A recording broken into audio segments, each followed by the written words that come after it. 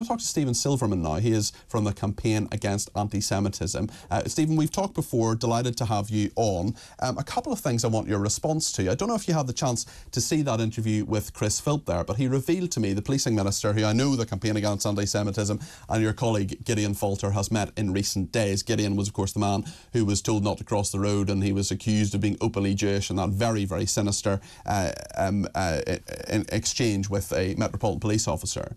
We're in a situation where Chris Philp, who's the policing minister, told me that in six months of these pro-Palestinian marches, he has not attended one of them. What do you make of that, Stephen?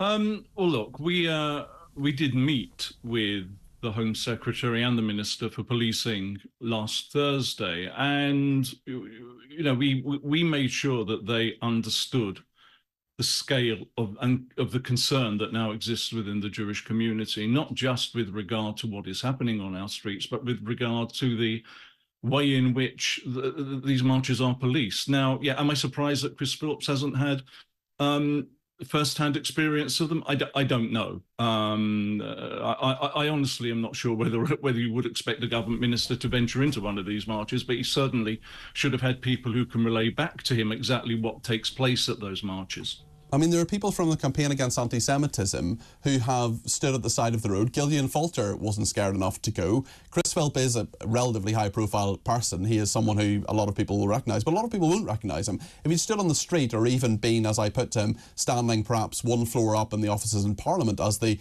uh, as the uh, parade went past, as the protest went past, I mean, that's one way he could have he could have dealt with that. But let me ask you about a couple of other things. There is video circulating of a man holding uh, holding a poster saying Hamas are terrorists being threatened with arrest. Hamas are terrorists. That is factual. That is an empirical fact. And he was threatened with arrest. What do you make of that, Stephen? Well, we're, we're kind of reliving the same things over and over again. We're seeing management of um, of these marches rather than enforcement of the law. And this is one of the reasons why we decided to call off our Walk With Us event yesterday.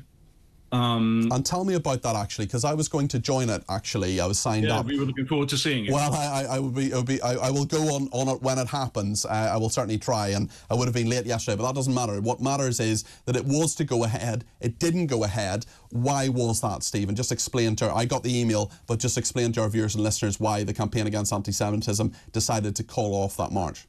Well, there were a number of factors. Um, first, I, I, met on Thursday morning with the um, Metropolitan Police's senior public order team um, to talk about what was happening. And it, it, was actually clear to me that they did want to try to facilitate um, what we wanted to do. It, it, I think it completely bemused them because we, um, uh, I don't think they'd encountered anything like this previously. Um, but it was also clear I couldn't see any assurance that the the uh, the marches weren't going to poli- were going to be policed any differently from the way they have in the past. Now, when you couple that with the fact that the numbers who uh, by the end of the week had signed up were in the thousands, um, you know that's that is in fact an awful lot of people to expect the police to keep safe. Additionally, there have been some. But, but the police tell us time and time again, Stephen, that the pro Palestinian protests are safe. There's no issue. Uh, everything's fine. Yes, there are a few arrests. There were two arrests yesterday. I mean, that's just not the case, is it, Stephen? That's just well, you know, case. another fact. Another factor is the death threats that have been received against senior members of our charity. That's awful. Uh, both by email uh, and on social media and the fact that we'd seen messages from hostile actors who were planning to join the march to, uh, oh no, it wasn't a march, sorry, it was a, a walk, um, in order to to cause serious disruption. And all of those things taken into account, we concluded that as um, angry as we and the Jewish community are about what is happening on our streets, um, our first priority is to keep people safe. And with that in mind, we decided the the most prudent thing was to, to call the event off. How scared do you feel, Stephen? How scared do I feel? Yeah. I don't allow myself to think about it. I'm very, very aware of the fact that um, uh, Jews are at risk. I mean, look, yesterday they had to cover up the Holocaust memorial in Hyde Park. Yeah, this was Royal Parks actually, and the Metropolitan Police have pointed out that it was Royal Parks rather than Metropolitan Police. But listen, whoever it is, they didn't, as Lauren Bell Cross, my panelist a little bit earlier, pointed out, they didn't feel the need to cover up the Diana Memorial, for example. That was fine, but the Holocaust Memorial was covered up. It's been covered up on a numerous occasions previously, but that that in itself, this this image I'm going to hold up now. If you're listening on the radio, you won't see it, but what I'm going to hold up to those watching on the TV now, this is a blue tarpaulin over a stone, an etched stone, the Holocaust Memorial Garden in Hyde Park. What message do you think that sends, Stephen well, it's it's it's just a new low. It appears that um, anything that is visibly Jewish um, and could incite these mobs, it has to be covered up.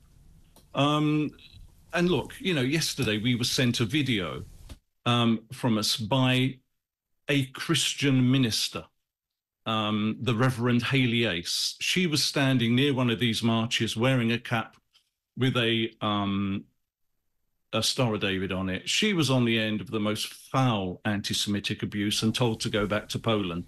Poland, of course, being where the um, the majority of the Nazi extermination camps were located. So you know we are pretty fed up with the gaslighting that we're receiving, not just from the organizers of the marches, but the people who are responsible for controlling them as well. What do you think of the fact that some Jewish people, not very many of them, but we had one of them on the programme yesterday because I want to get all perspectives on this. There are some people who are Jewish, very, very small number, who have joined the pro Palestinian marches calling for a ceasefire in Gaza.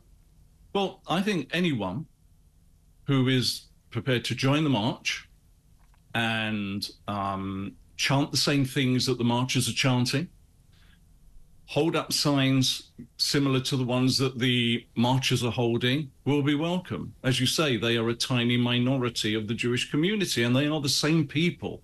And, you know, they were caught on video yesterday, the same people who, during the anti Semitism crisis in the Labour Party, insisted that there was no problem, defended Labour and Jeremy Corbyn in particular to the hill said people were making false allegations of anti Semitism for nefarious reasons.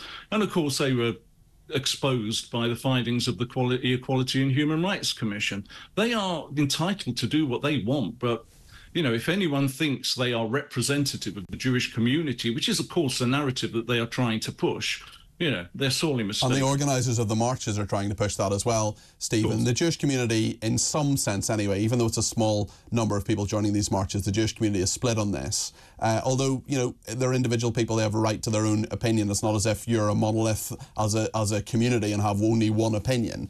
But but it must it must. So, I'm, I'm sorry, I sorry, Peter. I'm sorry. Can, can I just um, come, come back on of that? Of course, point? of course. You, you, you said the Jewish community is split on this. It isn't.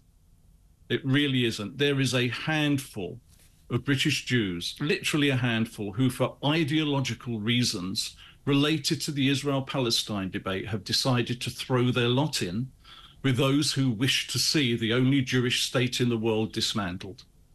Do you know that what I... is, not a split in the Jewish community. Okay. It's a fringe group who do not represent the thoughts and feelings of the overwhelming majority of the Jewish community. Absolutely fair point. I had, I mean, you on your social media will get a thousand percent more than I get, probably more than that. But there are people on social media. I'm not complaining. I'm just saying this is this is this is factual. Some of the stuff yesterday I received was really unbelievable. There was one I, I, I don't I, I'm going to repeat it simply to put to you, and it's not absolutely 100% not what I believe. Fascinating that I was interviewing a Jewish person who was on the march because I wanted to get their perspective but also the fact that I, someone, first of all, conflated in this anti Semitic tweet all British Jewish people with the Israeli government. They are totally separate. And there are many, many Jewish people I know who don't entirely support the uh, Israeli government for lots of reasons, nor should they be held accountable for it. And then said, and, I, and, and the point I was making on air yesterday was what about you know the innocent civilians, both in Gaza and the innocent civilians in Israel. And this person made a point which was hor horrifying to me, and said there are no innocent Israeli citizens. Unbelievable. That's the tip of the iceberg, Stephen, isn't it? Yes, it, it, it, absolutely is, and it is it is typical of the march. And you know something that has gone unreported following the incident involving Gideon Falter two weeks ago is we are told repeatedly over and over again that the marches are largely peaceful. It is just a few bad apples that cause a problem. Well, astonishingly, a few bad apples happened to find themselves in the location of Gideon Falter without knowing he was going to be mm, there. Mm, mm. So, is this some sort of remarkable consist- uh, coincidence where those few bad apples just a, a, stroke of fate happen to find themselves there, or is the reality that that is typical of what will happen to a Jewish person who engages with that march anywhere along its uh, along its length? On those marches, do you feel there will be a time, or will the circumstances exist that you will be able to put on a walk, a march, whatever you want to call it? Do you think that those circumstances will exist? Will will it be safe for you to do that at any stage, or will the logistics be in place, or will the environment and the atmosphere be in place that well, you the, can hold that? The, the thing that we decided made it unsafe was this was not a march. A march would be would be controlled in a certain way with stewards and and, and what have you. The, the, the aim of the, the what we planned yesterday was for uh, Jewish Londoners and others to turn up at suggested meeting points and go for a walk wherever they wanted. So it wasn't a march as such. Yes, we absolutely will be um, holding another event and we'll be planning that this week.